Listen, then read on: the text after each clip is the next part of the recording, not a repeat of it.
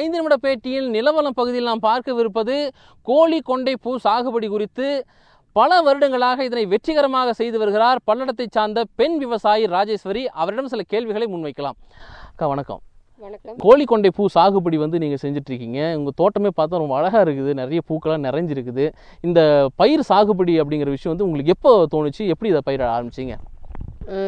சாகுபடிங்கிறது வந்து பதினஞ்சு வருஷமாக பண்ணிகிட்டு இருக்கிறேங்க இது வந்து நல்லா வருமானம் இருக்கிறதுனால நாங்கள் இதை அஹ், இது வந்து ஆள் கம்மியாக இருக்கிறதுனால இந்த பயிர் பயிரிடலான்னு தோணுச்சு அதனால் பண்ணிகிட்டு இருக்கிறேங்க இப்போ இந்த நடவு முறைகள் குறித்து சொல்லுங்க. இது வந்து நாற்று விட்டு தான் நடணும் அப்படின்னாங்க. எவ்வளோ நாட்கள் வந்து தேவைப்படுது? இந்த செடிக்கு செடி எத்தனை டிஸ்டன்ஸ் விடணும்? நடவு முறைகள் பற்றி சொல்லுங்கள் விதை வந்து விதை நாற்று விட்டு தான் நடவு போடணுங்க.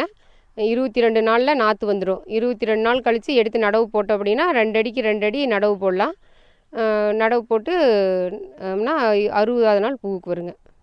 இப்போ இது நடவு செஞ்சு அறுபது நாட்களுக்கு அப்புறம் பூ வரும் அப்படிங்கிற போது எத்தனை நாட்கள் வரைக்கும் இந்த செடி இருக்கும்? அந்த ஒரு டைமில் மகசூல் வந்து எத்தனை டன் வரைக்கும் கிடைக்கும் ஒரு ஏக்கருக்கு?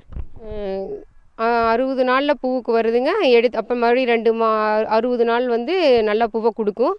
இது வந்து சொட்டு நீர் முறையில் போட்டிருக்கிறதுனால தண்ணி கம்மியாக இருக்கிறதுனால உங்களுக்கு நாலு மாதத்தை வெள்ளாமை நல்லா பலன் கொடுக்குதுங்க. ஒரு ஏக்கருக்கு ரெண்டையிலேருந்து மூணு டன்னு வருங்க பூவு. இப்போ இந்த பயிர் வந்து நட்டு வ வளர்க்கக்கூடிய சூழலில் பூச்சி தாக்குதல் போன பல பல பிரச்சனைகள் வரலாம். அப்படி வரும்போது பயிரை காக்க காப்பாற்றுறதுக்கு எந்த மாதிரியான வழிமுறைகளை வந்து பின்பற்றுறீங்க பூச்சி தாக்குதல் வரும்போது மருந்து வந்து தெளிப்பான் மூலிமா தெளிச்சுக்கலாங்க. அப்படி தெளிச்சிட்டா கட்டுப்படுத்திக்கலாம். புழு பூச்சி ஒரு ஒரு டைம் விவசாயம் பண்ணும்போது ஒரு ரெண்டு டைம் அதுக்கு வந்து பராமரிப்பு பண்ணணுங்க. மற்றபடிக்கு பெருசாக ஒன்றும் பாதிப்பு வராதுங்க. சாகுபடி செஞ்சுட்டு இந்த கோழி கொண்ட பூவை எப்படி வந்து வெளியே சந்தைப்படுத்துறீங்க?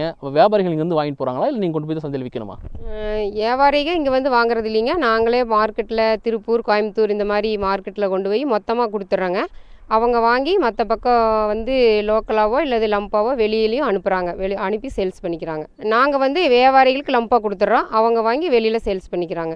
இப்போ இந்த சாகுபடி செய்யக்கூடிய சூழலில் எத்தனை கால இடைவெளியில் இந்த பயிர் வந்து மாற்று பயிர் வைக்கணும்? இது வந்து எல்லா காலத்துலையுமே இதை பயிரிடக்கூடிய ஒரு பயிராக தான் இருக்குதா? இது வந்து ரெண்டு மாதம் கேப்பு விட்டு தான் அடு அடுத்த டைம் நடவு போடணுங்க. இல்லை நம்மளுக்கு பூமி நிறையா இருந்தால் மாற்றி வேறு பூமியில் போட்டுக்கலாம். வேறு பக்கத்தில் வேறு பூமியில் போடலாம். இது வந்து அறுபது நாள் வெள்ளாமை வந்து மறுபடியும் ஒரு அறுபது நாள் நாலு மாதத்து வெள்ளாமிங்க.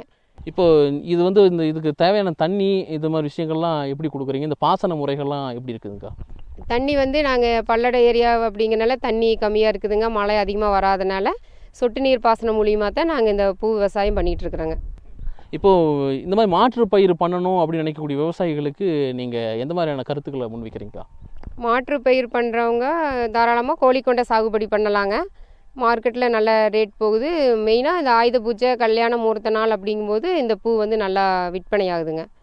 அதனால் எங்களுக்கு நல்ல பெனிஃபிட் கிடைக்குது. அதனால் நாங்கள் கோழிக்கொண்டையே பண்ணிகிட்ருக்குறோங்க விவசாயிகளும் தாராளமாக இதை பண்ணலாம். கம்மியான செலவு தண்ணி செலவு கம்மியாகுதுங்க. ஆள் ஆள் செலவு நிறையா தேவைப்படாது. ஏன்னா ஒரு டைம் களை வெட்டியாச்சுன்னா அப்புறம் வந்து அதிகமாக பில்லெல்லாம் வராது இல்லைங்க. செடி நிழல் கட்டிடுறதுனால அதனால் கம்மியான ஆளில் நம்ம தோட்டத்து வீட்டு ஆளுங்களே பூ அறுவடை பண்ணிக்கலாம். அதனால் விவசாயிகள் தாராளமாக கோழிக்கொண்டை சாகுபடி பண்ணலாங்க. இப்போ இந்த பயிர் இட்டுட்டு அறுபது நாளுக்கு அப்புறம் இந்த பூ வந்து சாகுபடி தொடங்குன்னு சொல்கிறீங்க எவ்வளோ கால இடைவேளையில் இந்த சாகுபடி வந்து செய்யப்படும்? மறுபடி பதினஞ்சுலேருந்து இருபத்தி ரெண்டு நாளுக்குள்ளே மறுபடியும் அது அறுவடைக்கு வருங்க பூவு. ஒரு டைம் பூ எடுத்தாச்சு அப்படின்னா ரெண்டாவது டைம் பூ எடுக்கிறதுக்கு ஒரு இருபத்தி ரெண்டு நாள் பிடிக்கும். இருபத்தி ரெண்டு நாள் கழிச்சா மறுபடியும் அந்த செடியில் பூ எடுக்கலாம். அப்படி ஒரு மூணு டைம் நாலு டைம் வரும்போது அப்புறம் செடி வந்து இதாயிருங்க. அப்போ கரெக்டாக நாலு மாதம் ஆயிரும். அது அவ்வளோதான் அதுக்கு ஆயுள் காலமே. இப்போ மற்ற நெல் போன்ற பணப்பயிர்களுக்கு மத்தியில் இந்த பயிர் வந்து நல்லா சிறப்பான சாகுபடி தருதுங்களா?